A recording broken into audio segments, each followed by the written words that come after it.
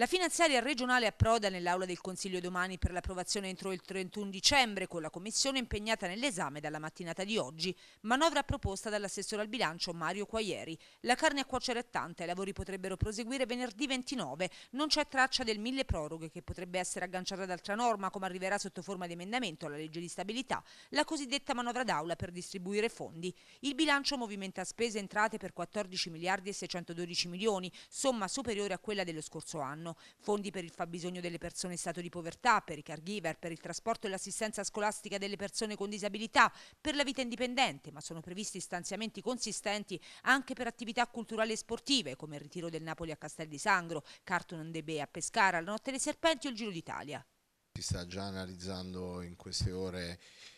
in commissione non è certo una manovra che ha risorse infinite per tutto, ma rifinanziamo tutte le conquiste che in questi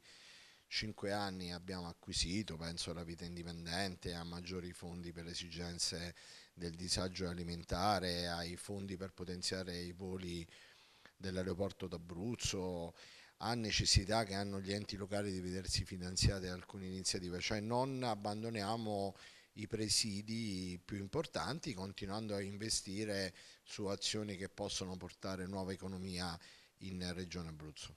Nella seduta di oggi intanto ci sono quattro nuove leggi, quella a sostegno delle donne vittime di violenza firmata dalla Marcozzi con un reddito di libertà per varie iniziative, la proposta dei 5 Stelle con il capogruppo Taglieri e Pettinari per sbloccare una norma relativa alle barriere architettoniche e poi la legge che prevede un marchio per le attività commerciali simbolo proposta dal consigliere Di Matteo.